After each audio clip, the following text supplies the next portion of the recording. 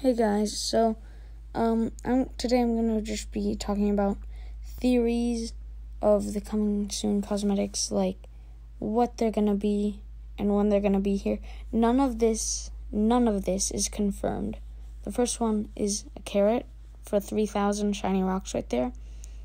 I think that because all of these are handhelds, and that would also be a handheld cosmetic, and also um that is 4,000, that's 3,500, and that's why I think this might be 3,000 or maybe 5,000 because there's been some. That might be a leprechaun beard or a bunny mask because those are uh, face cosmetics. And so, yeah. And these might be like a leprechaun hat or a leprechaun beard or something. We're not sure. Obviously, um, none of this is confirmed and all of it is spring related because you also have the St. Patrick's Day right there. Um, the Easter and the just spring. Um, but also instead of the carrot, there might be a piece of gold.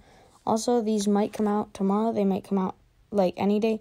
I'm guessing Saturday, but subscribe.